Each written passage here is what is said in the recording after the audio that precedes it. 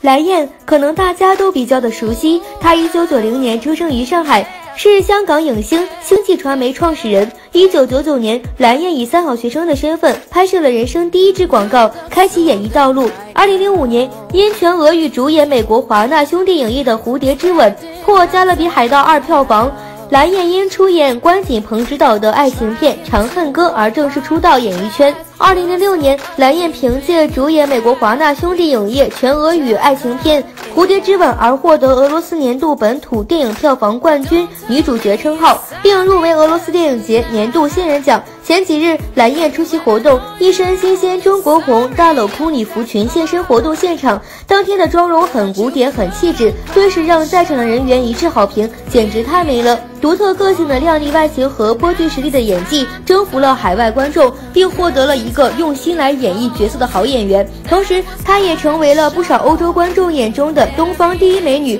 蓝燕有着修长的大长腿，白净的皮肤，裙摆的高开叉完美展现了她黄金比例的身材，简直就如一幅美丽的风景。如此美艳性感女神，不免时常传出绯闻。曾经在传她当红时期，自己吐露称拒绝过周杰伦的追求，引得网友一片哗然。不管是真是假，蓝燕现如今可是身家不菲，自己也热心努力于演艺事业成绩也是有目共睹的你是否也喜欢他呢？